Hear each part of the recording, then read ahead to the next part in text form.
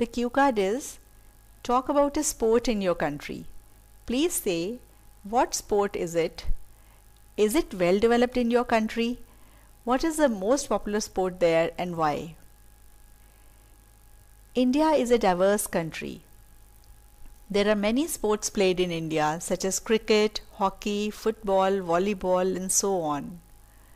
Here I would like to talk about a sport which has its origins in India. This sport is Kabaddi.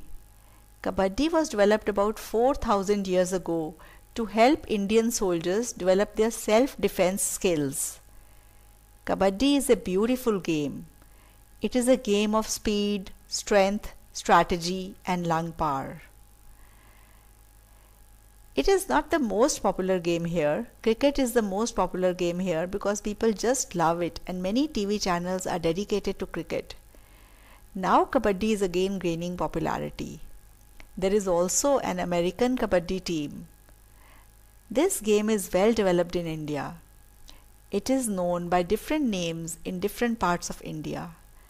All it requires is a big open space and a bunch of people. The Punjab government is doing a lot to promote this game.